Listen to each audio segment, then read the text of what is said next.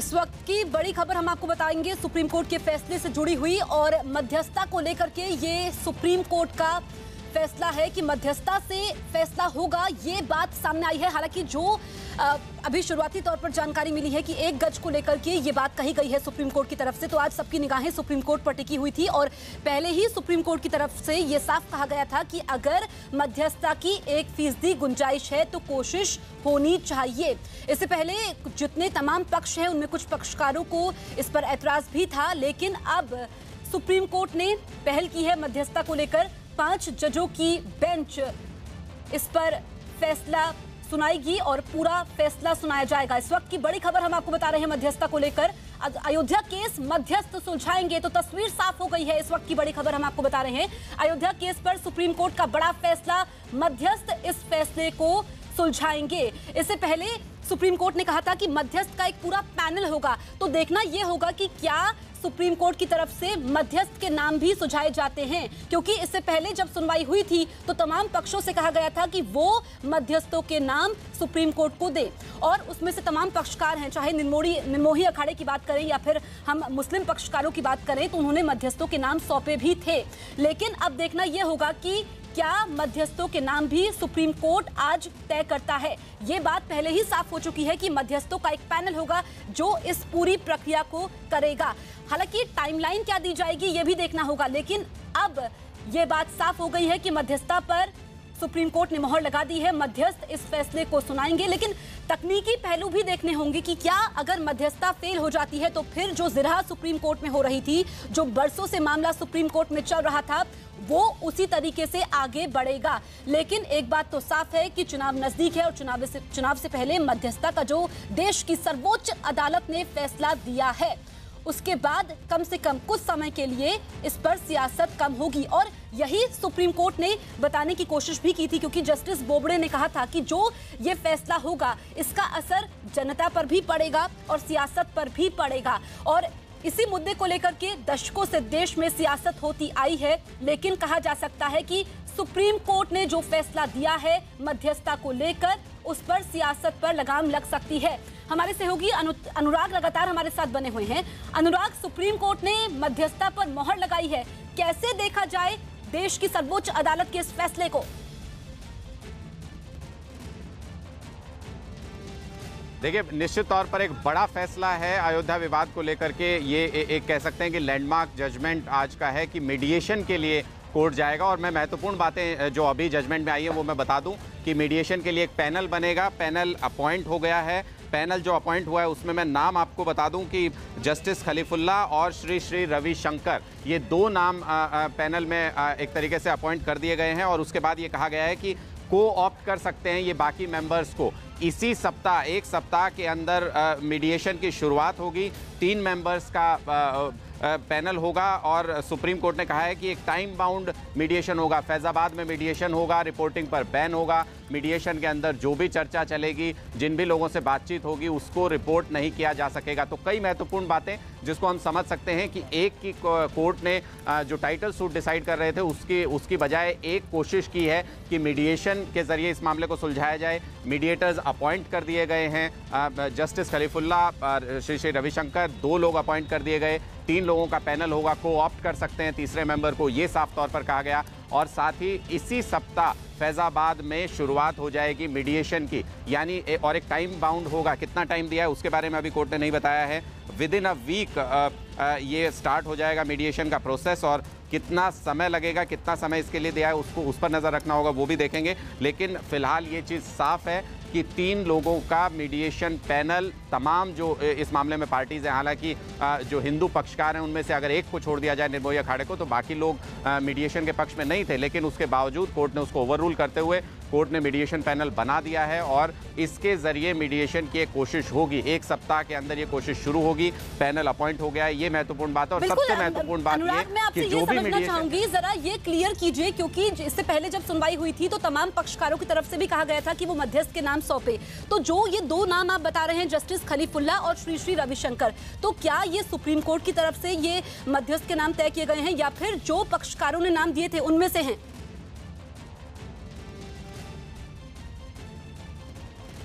देखिए एडवाइस मांगा था सुप्रीम कोर्ट ने मध्यस्थता के लिए कि तमाम पक्ष अपने अपने नाम सुझा सकते हैं। सब कुछ लोगों ने अपने नाम सुझाए भी कुछ ने कोई सुझाव नहीं दिया।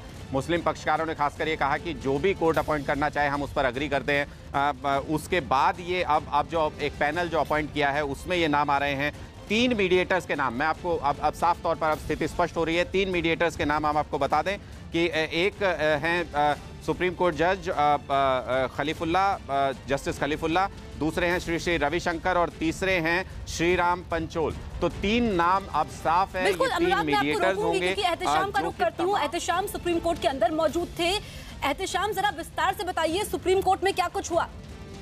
देखिए सुप्रीम कोर्ट ने अभी एक मुख्तसर सा अपना आदेश दिया है, जिसमें ये साफ़ कर दिया है कि इस मामले में मीडिएशन होगा, यानी मध्यस्थता से रास्ता कुछ निकालने की कोशिश की जाएगी। इसके लिए इन लोगों ने तीन मीडिएटर्स के नाम तय किए हैं। ये पैनल है तीन मेंबर्स का, जिसको हेड करेंगे जस्टिस खलीफुल्ला, जो कि सुप्रीम कोर्ट के रिटायर्ड जज हैं। और उसके अलावा उस पैनल में श्री श्री रविशंकर हैं और एक वकील हैं चेन्नई के श्री राम पंचू। तो ये तीन मेंबर हैं। साथ ही ये भी कहा गया है कि ये जो पैनल है, वो कुछ और मेंबर्स को को ऑप्ट कर सकते हैं। यानी उनको ये आज़ादी दी गई है कि तीन से ज़्यादा मेंबर्स भी वो इसमें रख सकते हैं। और ये कहा गया है कि एक हफ़्ते के अंदर इसका जो प्रोसीडिंग है, जो बातचीत है, वो शुरू की जाए और ये बातचीत जो होगी, वो फैजाबाद में होगी। और राज्य सरकार, यानी कि यूपी सरकार, उसके लिए जो ज़रूरी इंफ्रास्ट्रक्चर है, वो मुहैया करेगी और उनके देख रेख में ये सारा होगा। और एक हफ़्ते के अंदर ये बातचीत सभी पक्षों से ये जो पैनल है, वो शुरू करेगी। और चार हफ्तों में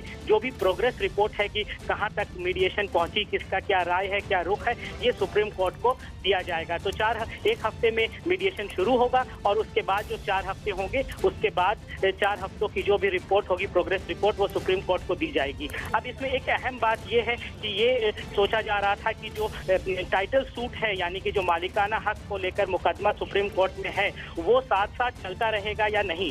ओरल ऑब्जर्वेशन पिछली सुनवाई में सुप्रीम कोर्ट ने यह दिया था कि मीडिएशन और ये जो मुकदमा है वो दोनों साथ साथ चलता रहे। लेकिन आज के ऑर्डर में ये बिल्कुल साफ़ नहीं किया गया है। तो अभी इस पर कयास लगाए जा रहे हैं कि क्या साथ साथ मुकदमा चलेगा या नहीं वो अपना स्टैंड अपनी जगह। उम्मीदजनक रहती है रहती है बातचीत आगे तो सुप्रीम कोर्ट कहाँ पूरी देखिए मध्यस्थता फैजाबाद में हो रही है। सुप्रीम कोर्ट ने इस मैटर को एक्सट्रीमली कॉन्फिडेंशियल रखने का है और मैं आप सभी से निवेदन करूँगा कि प्रिंट और इलेक्ट्रॉनिक मीडिया मीडिएशन की प्रोसीडिंग्स को रिपोर्ट ना करें। सर नाम बता दीजिए एक बार नाम बता दीजिए। ये भी कहा कोर्ट ने ये भी कोर्ट ने ये भी साफ़ किया है कि अगर खलीफुल्ला जो सुप्रीम कोर्ट के रिटायर्ड जज हैं वो इस मध्यस्थता मीडिएशन के चेयरमैन होंगे।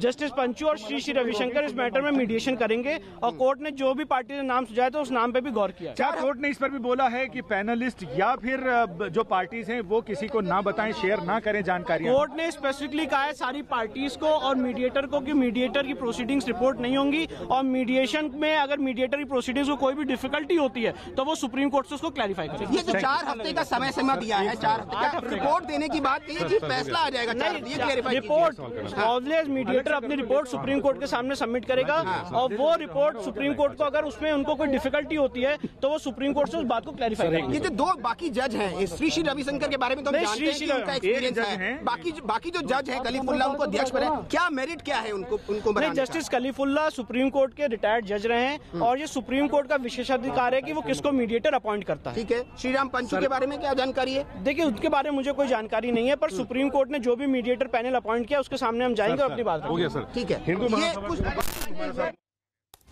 तो ये आप पक्षकार को सुन रहे थे और बड़ी खबर इस वक्त की हम आपको बता रहे हैं कि तीन मध्यस्थों का ये पैनल है जस्टिस खलीफुल्ला, जो कि सुप्रीम कोर्ट के रिटायर्ड जज हैं, श्री श्री रविशंकर, और तीसरा नाम है श्री राम पंचू। और जो तमाम पक्ष हैं, उन्होंने भी कुछ नाम सुप्रीम कोर्ट को दिए थे, उस पर भी विचार होगा। फैजाबाद में ये होगा, एक हफ़्ते में मध्यस्थता की कार्यवाही शुरू होगी और चार हफ्तों में प्रोग्रेस रिपोर्ट सौंपी जाएगी।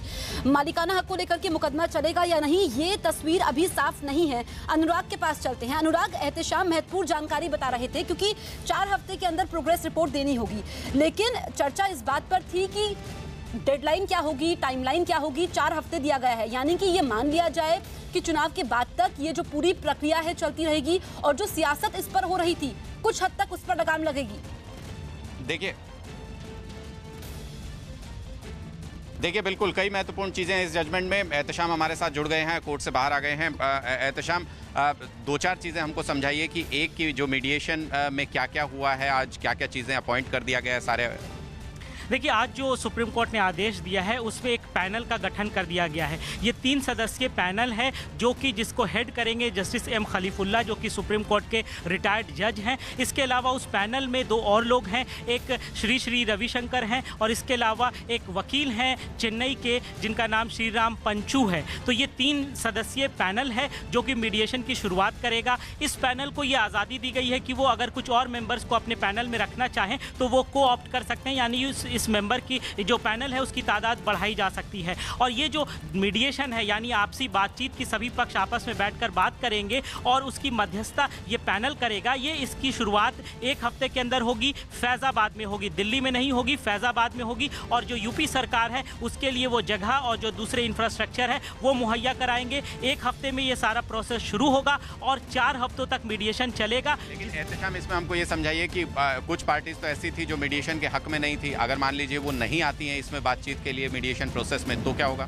देखिए सुप्रीम कोर्ट का ये आदेश है और सुप्रीम कोर्ट को ये पावर है सिविल प्रोसीजर कोड सेक्शन 89 के तहत कि वो किसी भी मैटर को मीडिएशन में भेज सकते हैं। तो ये जितनी पार्टीज़ हैं उनको वहाँ जाना पड़ेगा। वहाँ जाकर वो बात ये कह सकते हैं कि हम बातचीत के लिए तैयार नहीं हम कोई राय नहीं देना चाहते। तो उनका जो भी उन, उनका ओपिनियन होगा कि वो कोई राय नहीं देना चाहते वो रिकॉर्ड में आ जाएगा। और इसीलिए सुप्रीम कोर्ट ने कहा कि चार हफ्तों में आप एक स्टेटस रिपोर्ट सुप्रीम कोर्ट को दे कि कौन लोग मीडिएशन में जाना चाहते हैं और उनकी क्या राय है क्या हो सकता है? और जो लोग अपोज कर रहे हैं वो भी रिकॉर्ड पे आ जाएगा और वो चार हफ्तों में एक प्रोग्रेस रिपोर्ट सुप्रीम कोर्ट को दी जाएगी और फिर सुप्रीम कोर्ट देखेगा कि बातचीत आगे किस तरह से होगी या नहीं होगी। यानी मीडिएशन में शामिल होना बाइंडिंग है सारी पार्टीज़ पर एक तो ये चीज़ स्पष्ट करें और दूसरा ये बताएँ कि तो इसका मतलब अगले एक डेढ़ दो महीने तक इस बारे में कोई रिपोर्टिंग तो होगी नहीं? हाँ बिल्कुल एक दो महीने नहीं जब तक मीडिएशन चलेगा मीडिएशन के ऊपर हाँ जो सुप्रीम कोर्ट में मुकदमा चल रहा है टाइटल सूट का वो अलग है उस पर रिपोर्टिंग पे कोई रोक नहीं है।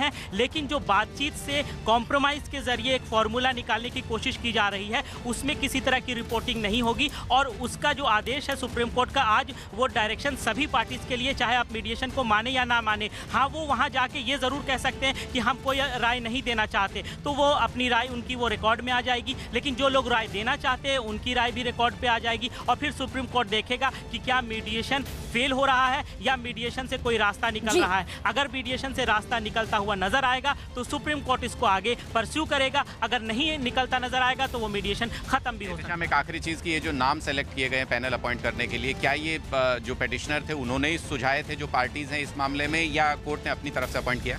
देखिए, हर पार्टी, कुछ पार्टीज़ ने, हर पार्टी ने नहीं कुछ लोग थे जैसे रामलला विराजमान है या हिंदू महासभा, इन लोगों ने कोई नाम नहीं दिया क्योंकि ये मीडिएशन के खिलाफ है। लेकिन कुछ लोगों ने अपने अपने नाम दिए थे, लेकिन जो अब सुप्रीम कोर्ट ने कुछ अपने नाम भी सोचे हुए थे तो अब ये किसका नाम इससे एक्सेप्ट हुआ, ये कहना मुश्किल है क्योंकि वो गोपनीय तरीके से नाम दिए गए थे। तो सुप्रीम कोर्ट के जहन में भी कुछ नाम थे और कुछ लोगों का जो सजेशन आया, उसके बुनियाद पे सुप्रीम कोर्ट ने ये तीन सदस्यीय पैनल बनाया है और अब उनको भी ये आज़ादी दी गई है कि कुछ और पैनल को भी उसमें इंक्लूड कुछ और लोगों को इंक्लूड कर सकते हैं। यानी ये समझ सकते हैं कि अब इस इस मुद्दे पर पूरे पर चर्चा शुरू होगी मीडिएशन पैनल के साथ बाकी सारी पार्टीज़ की लेकिन मीडिया में चर्चा काफ़ी हद तक बंद हो जाएगी जब तक कि मीडिएशन का प्रोसेस चलेगा। अगर इस बीच में कोई डेट आती है रेगुलर हियरिंग की ओपन कोर्ट हियरिंग की तो उस पर चर्चा ज़रूर हो सकती है वरना इस पर पूरी तरह से बिल्कुल अनुराग जो टाइटल सूट को लेकर के मुकदमा है उस पर भी मैं आपसे पूछूँगी कि एहतशाम से आप पूछिए फ़िलहाल हम अयोध्या चल लेते हैं। नरेंद्र के पास नरेंद्र सुप्रीम कोर्ट का ये महत्वपूर्ण फैसला आया है मध्यस्थता के ज़रिए अयोध्या विवाद सुलझेगा अब माहौल कैसा है अयोध्या में? बिल्कुल अयोध्या में लोगों का कहना है कि जो कुछ हो, जल्दी हो, इन लोगों का मैं अयोध्या के तमाम साधु संत मेरे साथ मौजूद हैं। समझौता, एक रास्ता दिखाया है सुप्रीम कोर्ट ने और एक सप्ताह के अंदर लोग अयोध्या में ही वार्ता करेंगे। फिर भटक गए लोग। अभी सत्तर वर्षों से लोग भटक रहे थे, आज पुनः भटक गए। अयोध्या के साधु संत क्या, अयोध्या साधु संत नहीं है?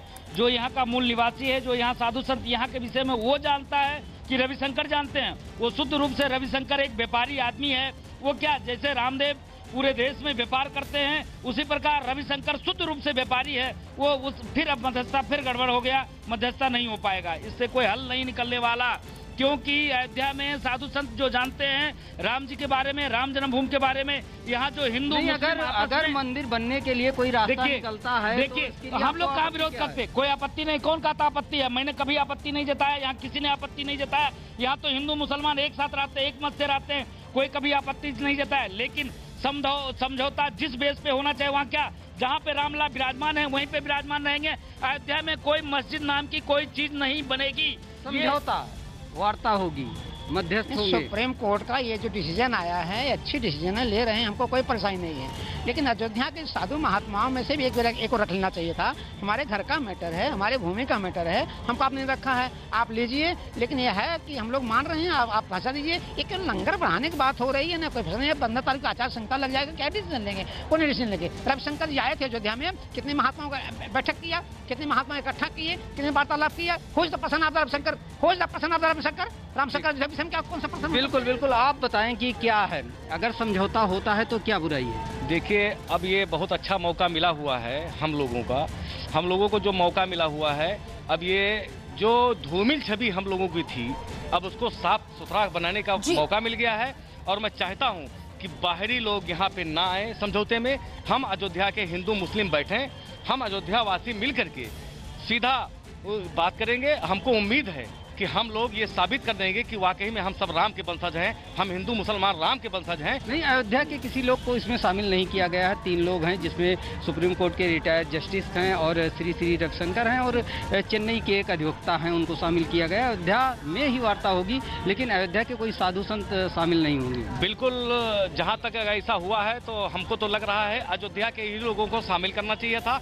अयोध्या का ही मामला है अयोध्या का ही बिल्कुल अयोध्या में लेकर के लोगों की राय अलग अलग है लेकिन आज सुप्रीम कोर्ट ने यह महत्वपूर्ण फैसला दिया है। हम चलते हैं अमिताभ सिन्हा के पास। अमिताभ जो हमने पिछली सुनवाई में देखा था कि जो तमाम पार्टीज़ हैं तमाम पक्षकार हैं उनकी मध्यस्थता को लेकर के राय अलग अलग थी खासकर रामलला विराजमान और हिंदू महासभा। ये समझौते के खिलाफ था।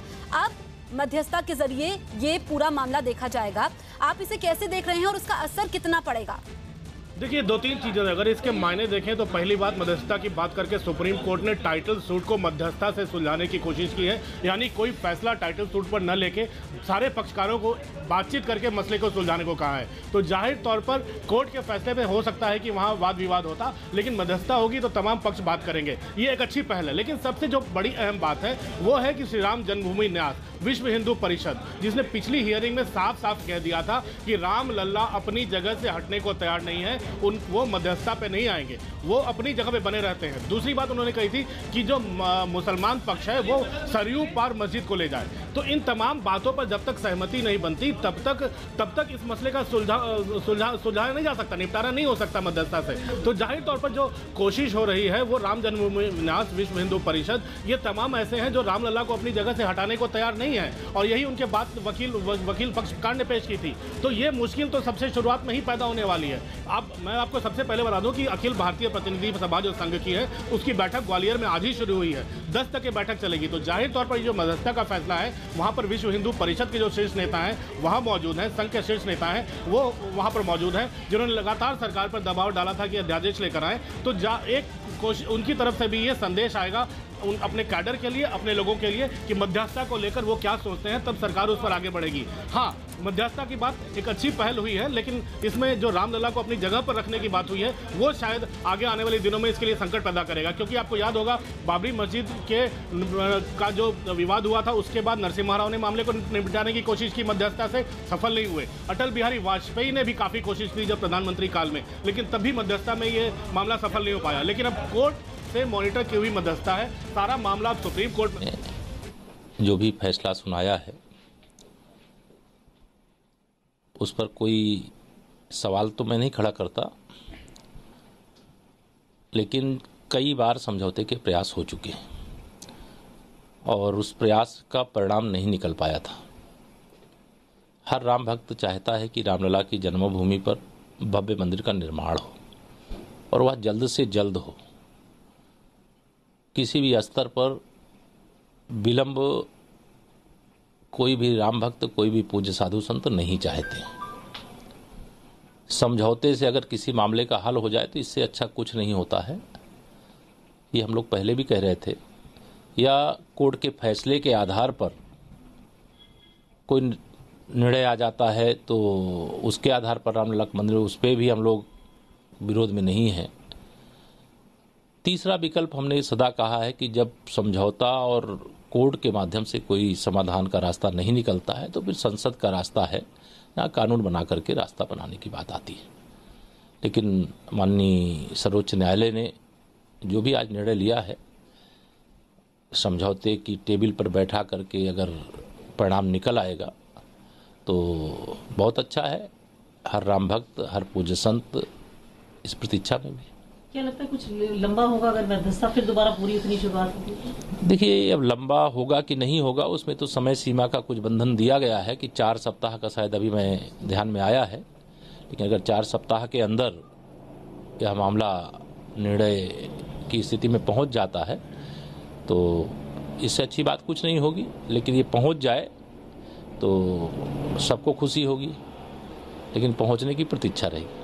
एक और इशू है आज मेट्रो का जो प्रधानमंत्री जी सीएम केशव प्रसाद मौर्य को आप सुन रहे थे कि उन्होंने ये ज़रूर कहा कि मध्यस्थता के ज़रिए कई बार इस मामले को सुलझाने की कोशिश की गई है, लेकिन अगर समझौते से ये मामला सुलझता है तो उसकी प्रतीक्षा रहेगी। आपको बता दें कि पिछली सुनवाई में मध्यस्थता का यूपी सरकार ने विरोध किया था। हमारे साथ अनुराग और एहतशाम दोनों हैं। अनुराग, हमने अमिताभ सिन्हा से सियासी मायने इसके पूछे और ये हमने समझा।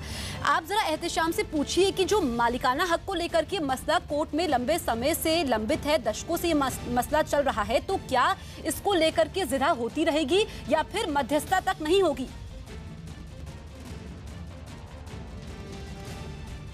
एहतशाम कानूनी रूप से दो चीज़ें हमको समझाइए कि एक कि अगर मीडिएशन प्रोसेस में कुछ पार्टीज़ एक बात पर अग्री करती हैं, कुछ नहीं करती हैं तो मीडिएशन पैनल कैसे पहुंचेगा किसी फैसले पर?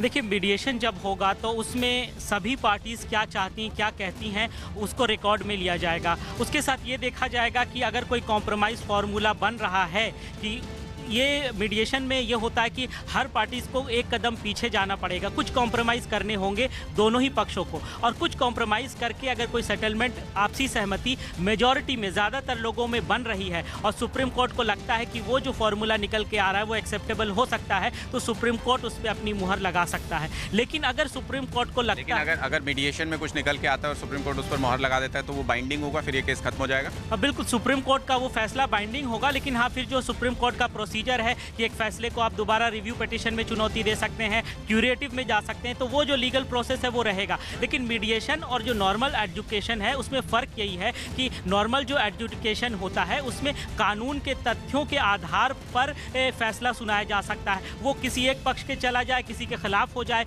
लेकिन जब मीडिएशन होता है तो वो कोई ऐसी पेचीदा चीज़ें जिसमें कोर्ट चाहता है कि दोनों को थोड़ा थोड़ा सेटिस्फाई कर दें, इसीलिए कोर्ट ने कहा था कि गुड फॉर बोथ साइड्स दोनों अगर उसमें खुश हो जाते हैं तो फिर एक फॉर्मूला निकल आता है और उससे एक आपसी सामाजिक सौहार्द बढ़ेगा और उस पर सुप्रीम कोर्ट अपना ठप्पा लगा देगा। ये अलग बात है कि उसको भी चुनौती दी जा सकती है, लेकिन पहले कोर्ट ये देखेगा कि जो मीडिएशन से, सहमति से जो फॉर्मूला निकल के आ रहा है, वो कितना एक्सेप्टेबल है, वो कोर्ट के विवेक पर डिपेंड करेगा। अगर उनको लगता है कि ये फॉर्मूला ज़्यादातर लोगों को एक्सेप्टेबल नहीं होगा तो फिर वो मीडिएशन फेल हो सकता एहतशाम दो चीज़ें थोड़ा सा क्लियर अगर कर सकें कि एक की जो जो हियरिंग चल रही थी टाइटल सूट को लेकर के, उसमें तो किसी एक के हक में जाना था क्योंकि टाइटल का मामला था।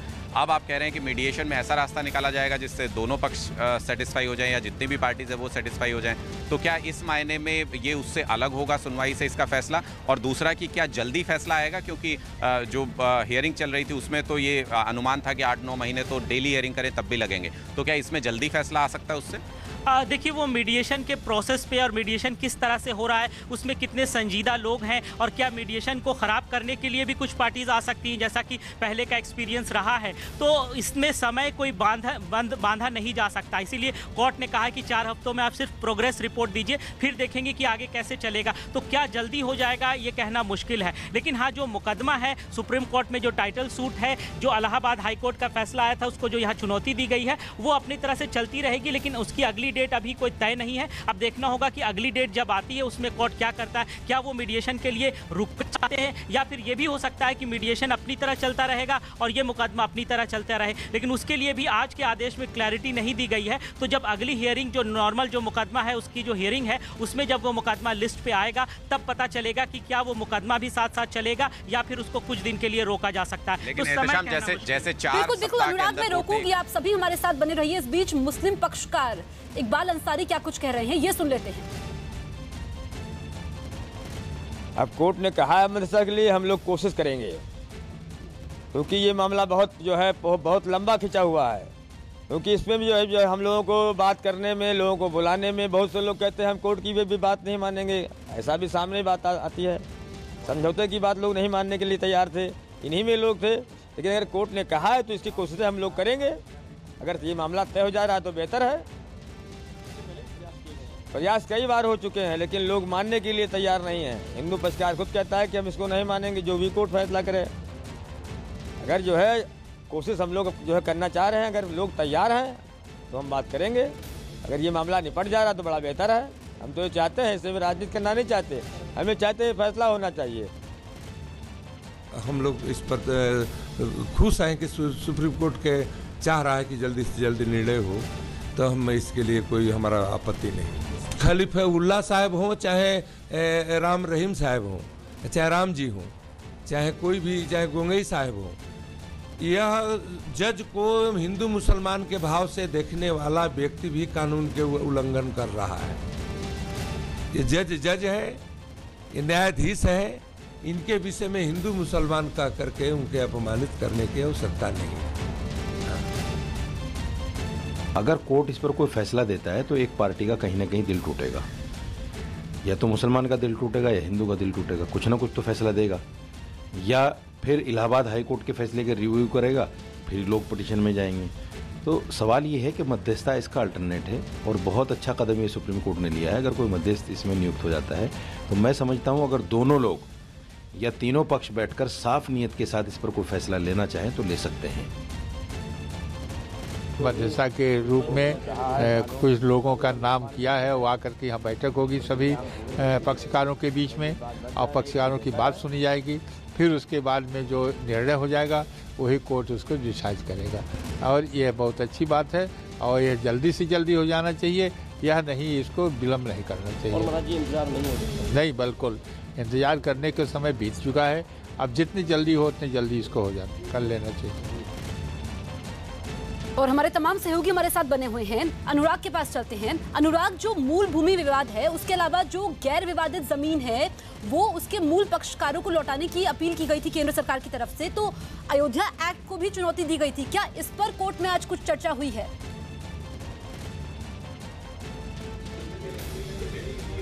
देखिए, नहीं, बिल्कुल नहीं। उस बारे में कोई चर्चा नहीं हुई। कोर्ट ने इसके किसी और पहलू पर फ़िलहाल विचार करने से आज की सुनवाई में कम से कम विचार करने से परहेज किया है और कोर्ट ने सीधे तौर पर कहा है कि एक ट्राई देना चाहिए मीडिएशन को, इसलिए मीडिएशन पैनल नियुक्त किया गया है। और अब ये पैनल इन तमाम पार्टीज़ से बात करेगा। हालाँकि अगर श्री श्री रविशंकर को अगर आप देखें तो वो इंडिविजुअल के तौर पर भी पहले कोशिश कर चुके हैं। वो यूपी सरकार से भी बात कर चुके हैं। वो तमाम जो पक्षकार हैं उनसे भी मिलकर के बात कर चुके हैं और बीच का रास्ता निकालने की बात कर चुके हैं। अगर आपको ध्यान हो तो आज से छः सात महीने पहले श्री श्री रविशंकर ने ये पूरी कोशिश की थी। हिंदू सभा हिंदू महासभा के वकील हमारे साथ इस वक्त मौजूद हैं। आप लोग मीडिएशन को अपोज कर रहे थे लेकिन अब तो मीडिएशन ऑर्डर हो गया तो आपको पार्टिसिपेट करना पड़ेगा। हमारा विरोध सुप्रीम कोर्ट के जजमेंट आने से पहले तक का था। अब सुप्रीम कोर्ट का जजमेंट आ गया है तो हम डेफिनेटली मीडिएशन प्रोसीडिंग्स में पार्टिसिपेट करेंगे। सुप्रीम कोर्ट ने मना किया है प्रिंट और इलेक्ट्रॉनिक मीडिया में और किसी भी पार्टीज़ को मीडिया मीडिया के सामने बोलने के लिए कि उनका क्या स्टैंड रहेगा मीडिएटर के सामने तो वो एक मीडिएशन का विषय है और देखते हैं मीडिएशन प्रोसीडिंग्स कैसे आगे बढ़ती हैं। तो मीडिएशन से आपको उम्मीद है, क्योंकि ये कहा जा रहा है कि श्री श्री रविशंकर जो एक मीडिएटर नियुक्त किए गए हैं वो पहले भी इंडिविजुअली सारी पार्टीज़ से मिलकर के ट्राई कर चुके हैं। तो अब आपको उम्मीद है कि सुप्रीम कोर्ट ने पैनल पूरा बनाया है तो उससे कुछ निकल के आएगा हल। देखिए, मेरे हिसाब से इस मैटर में जो हमारा स्टैंड सुप्रीम कोर्ट के जजमेंट से पहले रहा है, मैं वो बता रहा हूँ, इस मामले में मीडिएशन पॉसिबल नहीं क्योंकि हिंदू महासभा और रामलला विराजमान का क्लियर स्टैंड है कि वो यहाँ पे एक इंच ज़मीन भी सेक्रीफाइस नहीं करेंगे। और जो बाबर ने किया है इतिहास में, वो ऐतिहासिक लड़ाई है जो सुप्रीम कोर्ट के सामने हम लड़ रहे हैं हिस्टोरिकल रिवेंज के लिए। और इसीलिए इसीलिए इस मैटर में मीडिएशन पॉसिबल नहीं पर सुप्रीम कोर्ट ने आज अपना जजमेंट सुनाया है तो सुप्रीम कोर्ट के जजमेंट को हम अवॉइड करेंगे और मीडिएशन सामने देखेंगे कि इस मामले का क्या हल निकल सकता है। आप लोग मीडिएशन में जाके भी यही बात रखने वाले हैं? अब देखिए ये बोलना मेरा आपके सामने बहुत अनुचित होगा क्योंकि सुप्रीम कोर्ट ने प्रिंट और इलेक्ट्रॉनिक मीडिया और सारी पार्टीज़ को रेस्ट्रेन किया है मीडिया से इस बारे में फर्दर बात करने के लिए मीडिएशन में क्या होगा। तो इसलिए वो मेरा कहना मैं नहीं कह सकता वो मेरी पावर नहीं है पर डेफिनेटली सुप्रीम कोर्ट ने हमें डायरेक्ट किया तो मीडिएशन में पार्टिसिपेट करें एक आखिरी चीज़ अगर क्लैरिटी दे सकें दो चीज़ों पर कि क्या कोई टाइम की बाउंडेशन है कि कितने समय में? कोर्ट ने आठ हफ़्ते के अंदर कहा है मीडिएटर को अपनी रिपोर्ट सबमिट करने के लिए मीडिएशन पैनल को अपनी रिपोर्ट सबमिट करने के लिए चार हफ़्ते के समय दिया है स्टेटस रिपोर्ट सबमिट करने के लिए एक हफ़्ते बाद फैजाबाद में ये मीडिएशन एक हफ़्ते बाद तो नौ हफ़्ते में हम ये कह सकते हैं कि इसमें कुछ नतीजा हमको अ, मिल जाएगा बिल्कुल हम ऐसा सोच सकते हैं कि नौ हफ़्ते में मीडिएशन में क्या हुआ ये लोगों के सामने आ सकता चलिए तो ये कम से कम एक But Hindu parties are uh, not happy with it. They are I am opposing not. it. I saying am it's not a holding their futile brief. I am exercise. not holding Sir. Sir. Sir. Sir. sir. So as you can see, the, the lawyers for the Sunni तो ये सुन्नी वक्फ board के वकील हैं और तमाम जितने इसमें पक्षकार हैं क्योंकि जितने भी मुस्लिम पक्षकार थे वो समझौते के साथ थे लेकिन अब जो हम सुन रहे थे हिंदू महासभा के वकील को उन्होंने कहा है कि जब तक सुप्रीम कोर्ट का फैसला नहीं आया था तब तक वो मध्यस्थता का विरोध कर रहे थे अब वो मध्यस्थता का विरोध नहीं कर रहे हैं जो आगे प्रक्रिया होगी उसमें वो जाएँगे अमिताभ सिन्हा से रिएक्शन लेते हैं अमिताभ पहले तक जितने भी तमाम हिंदू पक्षकार हैं, क्योंकि सिर्फ़ निर्मोही अखाड़ा ऐसा था जो मध्यस्थता के पक्ष में था। अगर हम हिंदू महासभा की बात करें या फिर रामलला की बात करें, अब हिंदू महासभा के जो वकील हैं, उन्होंने कहा है कि वो मध्यस्थता का स्वागत करते हैं और प्रक्रिया में जाएँगे। तो यानी कि फैसला आने के बाद भी तमाम पक्षकारों के सुर बदल रहे हैं। बिल्कुल, यही तो मैंने कहा कि अब नौ हफ़्ते का समय है। चार महीने, चार हफ़्ते के बाद स्टेटस रिपोर्ट आएगी, फिर चार हफ़्ते का और समय आएगा रिपोर्ट बनाने में, एक हफ़्ते का समय और दिया तो नौ हफ़्ते का मतलब है दो महीने निकल गए। दो महीने निकल गए तो पूरा का पूरा लोकसभा चुनाव निकल गया। तो ज़ाहिर तौर पर ये फैसला है, मध्यस्थता का जो इस अंतिम फैसले को और आगे बढ़ा गया है, क्योंकि सुप्रीम कोर्ट पर भी काफ़ी दबाव था, इस पर टाइटल सूट को लेकर, फैसला लेने को लेकर। तो अब जो फैसला होगा, मध्यस्थता का वो माने ना माने, ये तो बात की बात है। लेकिन पहले ही साफ़ कर दिया गया है, राम विश्व हिंदू परिषद जो जिसका एजेंडा ही है, राम मंदिर।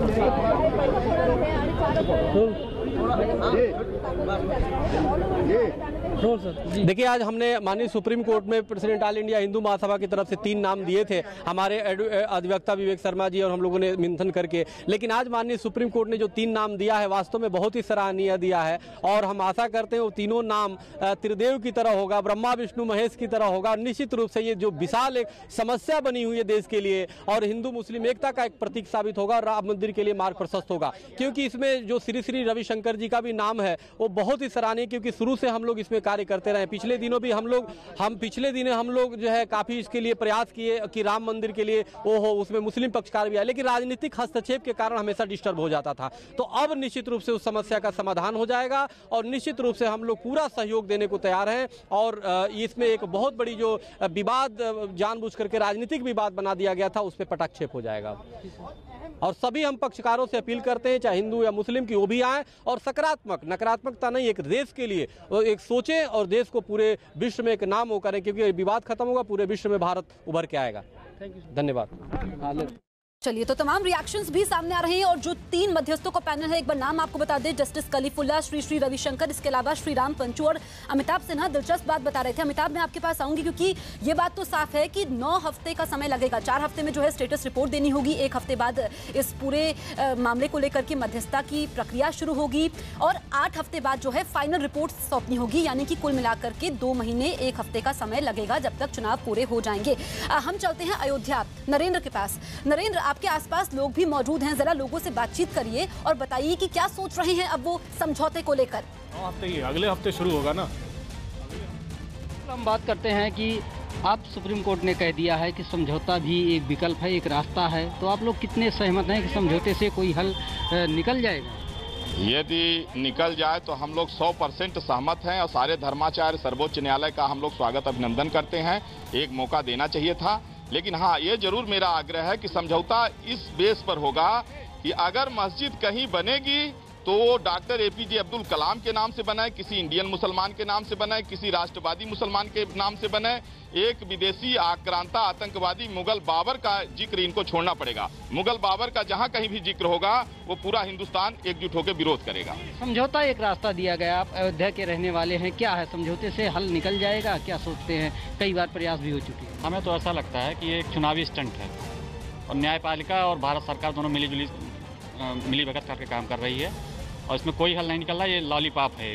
नहीं समझौते के लिए दोनों पक्ष रहेंगे उनकी बातें सुनी जाएगी क्योंकि लंबे समय से सुप्रीम कोर्ट में मामला चल रहा था कि विकल्प दिया गया है। देखिए विकल्प तो कई बार पहले ही बात कर चुके हैं अगर मीडिएशन की कोई एफर्ट होगी तो उसमें हम कोऑपरेट करेंगे। लिहाजा हम मीडिएशन में कोऑपरेट करेंगे। अब बाकी जो कुछ हमको कहना होगा वो मीडिएशन पैनल के सामने ही कहेंगे। मीडिया में या बाहर कुछ नहीं कहेंगे।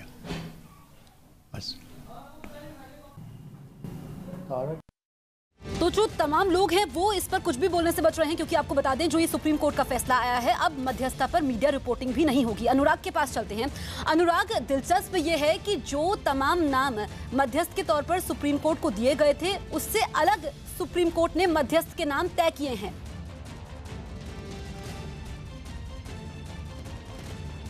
देखिए, बिल्कुल, क्योंकि कोर्ट को ये भी देखना था कि एक extraordinary circumstances extraordinary मामला है तो उसमें जो मीडिएटर्स चुने जा रहे हैं, जो पैनल चुना जा रहा है, वो भी एक एक्स्ट्रा ऑर्डनरी होना चाहिए। श्री श्री रविशंकर को अगर आप देखें तो वो पहले भी अपने स्तर पर कोशिश कर चुके हैं मीडिएशन करने की।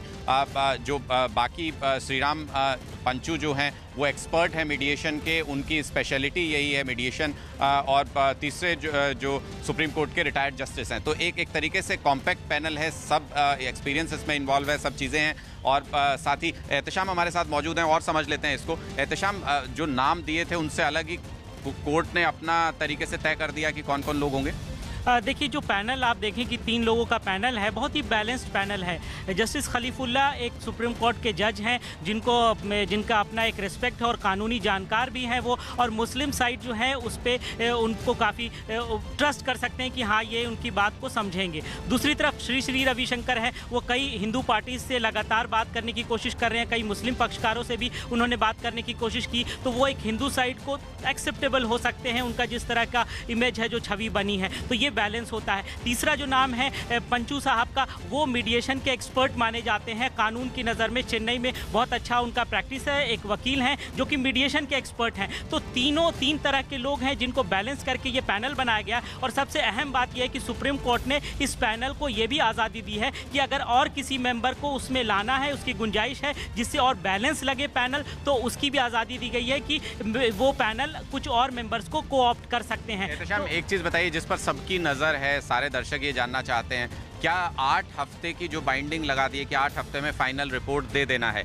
क्या ये माना जाए कि ये बहुत स्पीड अप हो गया प्रोसेस क्योंकि पहले तो माना जाता था कोर्ट में अगर सुनवाई होगी आर्ग्यूमेंट होंगे तो बहुत लंबा समय उसमें लगेगा।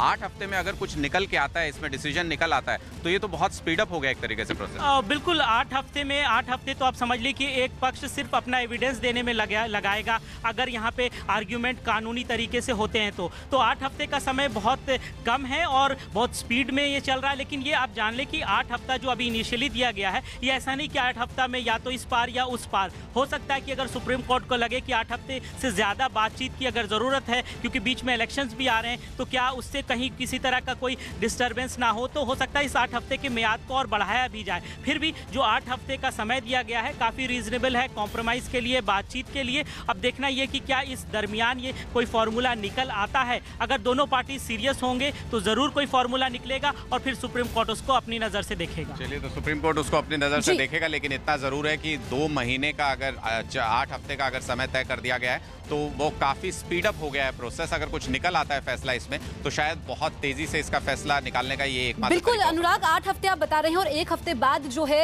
ये प्रक्रिया शुरू हो जाएगी तो नौ हफ़्ते हैं। हम एहतशाम से ये भी पूछेंगे कि इसकी प्रक्रिया क्या रहने वाली है। मैं अमिताभ सिन्हा के पास चलती हूँ। अमिताभ हमने पिछली सुनवाई में देखा था कि यूपी सरकार ने मध्यस्थता का विरोध किया था।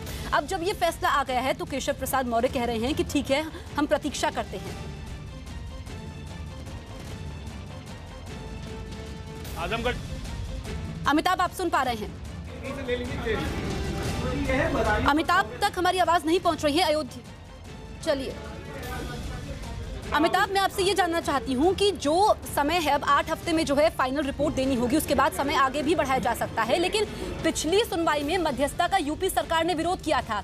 अब केशव प्रसाद मौर्य कह रहे हैं कि हम फैसले की प्रतीक्षा करेंगे, मध्यस्थता को देखेंगे। देखिए, उच्चतम न्यायालय का फैसला है, मध्यस्थता का फैसला है, इसलिए तमाम पार्टीज़ को इसमें आकर बैठना पड़ेगा ही। सबको अपनी बात रखनी पड़ेगी ही, क्योंकि इसकी रिपोर्ट सुप्रीम कोर्ट में जानी है, जिसे टाइटल सूट पर अंतिम फैसला लेना है। मध्यस्थता से स्वीकार करना है। सुप्रीम कोर्ट ने इसका एक शांति से निकालने वाला फैसला बताया है, जिसमें जो ऐसा फैसला जो सारे पक्षों को मान्य हो। लेकिन मैं आपको एक चीज़ साफ़ कर दूँ, जो मैंने पहले भी बताया। कि राम जन्म- जन्मभूमि न्यास हो, या फिर विश्व हिंदू परिषद, जो एक बहुत बड़ी पार्टी है, भव्य राम मंदिर निर्माण जिनका नारा है। वो पहले ही कोर्ट में कह चुके हैं, सुप्रीम कोर्ट में कह चुके हैं, कि जहाँ पे राम लला विराजमान है, उस जगह से उनको हटाया नहीं जाएगा, ऐसी कोई मध्यस्थता वो स्वीकार नहीं करेंगे। तो ज़ाहिर तौर पर, ऐसा कोई फैसला जो मध्यस्थता से लाना मुश्किल होगा, जहाँ पे इन दोनों के इस इस इस इस ऐलान के बाद इनको पीछे हटाया जा सके। तो इसलिए मुश्किल थोड़ी घड़ी है ही मध्यस्थ मध्यस्थता करने वाले लोगों के लिए जो तीन कमेटी तीन सदस्यीय कमेटी बनी है। लेकिन इतना तो साफ़ है कि सब जाएँगे और अपना पक्ष ज़रूर रखेंगे। बिल्कुल सब जाएँगे अपना पक्ष रखेंगे। नरेंद्र के पास चलते हैं अयोध्या। नरेंद्र क्या तस्वीरें आप हमें दिखाने वाले हैं अयोध्या से? बिल्कुल यहाँ पे तमाम साधु संत हमारे साथ मौजूद हैं। अलग अलग तरीके की प्रक्रिया है लेकिन सबका यही कहना है कि मंदिर का मार्ग प्रशस्त हो। हम बात करेंगे। समझौता एक रास्ता एक विकल्प दिया गया है। देखिए, सुप्रीम कोर्ट को संत सब मान रहे हैं सुप्रीम कोर्ट ने जो कर रहे हैं, अच्छी बात है। हम लोग चाहते हैं वो ये कोशिश और करके देख ले। लेकिन अयोध्या का संत समाज अभी तक सुप्रीम कोर्ट कह रहा था कि हम सबूत मानते हैं। सबूत के आधार पर फैसला देंगे। हम लोग कहते थे, राम जी जहाँ विराजमान है, हम लोग का आस्था का विषय है, मंदिर बनने दीजिए। तो ये हुआ नहीं, सबूत चाहिए। अब जब सारे सबूत एकत्र हो चुके हैं और सबूतों के आधार पर ये मामला जल्दी करने के लिए किया गया है क्योंकि वो मुकदमा चलता रहे तो अगर ऐसा किया गया है तो हम लोग तैयार है।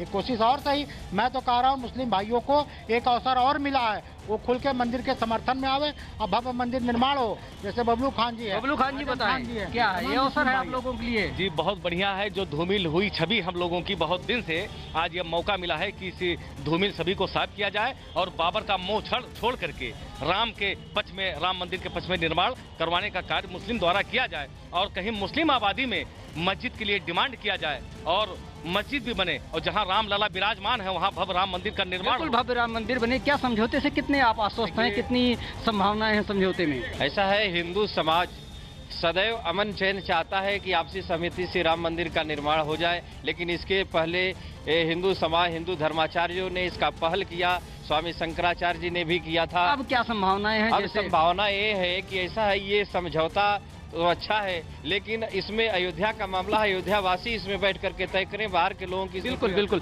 आप कहाँ तक सहमत हैं कि समझौता किसी हल पे पहुंचेगा और मंदिर बनने का मार्ग प्रशस्त हो पहली बात तो सुप्रीम कोर्ट ने जो किया है ये है तो स्वागत योग्य लेकिन मेरे समझ में नहीं आता कि इतना दिन लगाने के बाद फिर ये इस डिसीज़न पर क्यों पहुँचे हैं।